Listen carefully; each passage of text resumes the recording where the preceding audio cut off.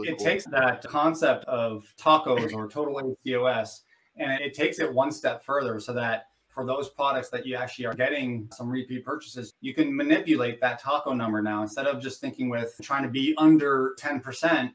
You know that you probably have a little bit more play if you have a really good repeat percent for the lifetime value of the product. And then you know that, okay, yeah, I can be a little bit more competitive with these big industries out there that are pushing some kind of subscription product.